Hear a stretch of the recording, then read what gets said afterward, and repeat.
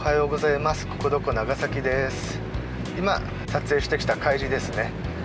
今日はどこに行ってきたかと言いますと長崎県諫早市の諫早公園にある眼鏡橋に行ってきました。眼鏡橋といったら一番に思い浮かぶのは長崎市の中島川に架かる眼鏡橋かもしれませんがこの諫早にも眼鏡橋というのがあります。市内を流れる本名川に架かる橋ですね。かかるっていうかかかっていた橋ですね。今は移設されて公園内にあります。川の拡張工事に伴ってダイナマイトで爆発される予定でしたが保存するということで公園に移設されています。国の重要文化財に指定されています。本名川に架かる橋全てが流されてきた。そうなんですけれども流されない強い橋を作ろう。頑丈な橋を作ろうということで石造りの橋が作られたようです。度重なる水害にも耐えてきたこの橋ですけれども諫早大水害の時ですね川をせき止めてしまったそうですね。強すぎて流木が橋に引っかかったそうです。強すぎて壊れなかったために水害をひどくしてしまったという話があります。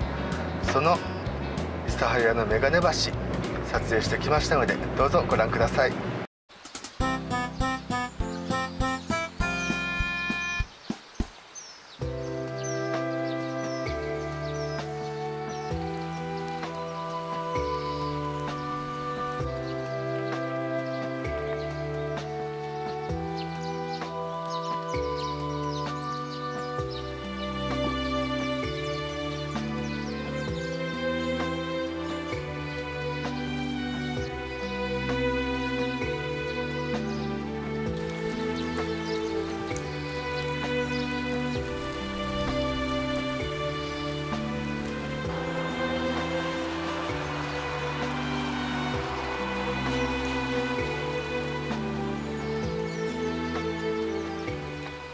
はい諫早の眼鏡橋ご覧いただきました。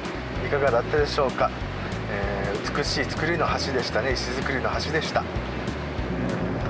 壊されなくてよかったなと思いますけれども実際川にかかってないのが少し残念ですね。まあ仕方ないことだと思います。国の重要文化財に指定されてますので文化財好きの方橋好きの方古い建物好きな方見て見に行ってみてください。